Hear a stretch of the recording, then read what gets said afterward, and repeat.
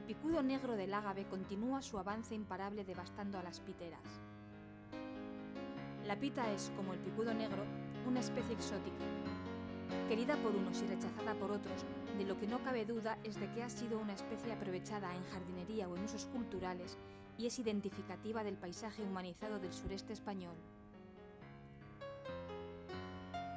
Su invasor siente atracción por su base.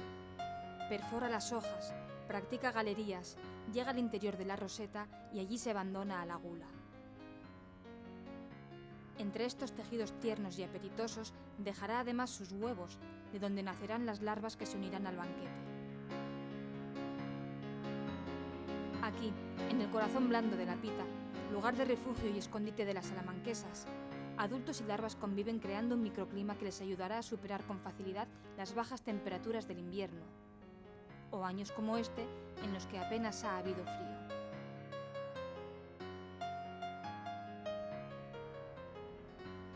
De hecho, el escarabajo ha sabido aprovecharse del clima suave y benigno de este rincón de la península para su expansión.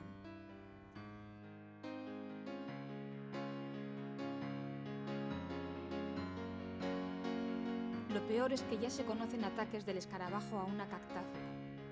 ¿Será su siguiente objetivo?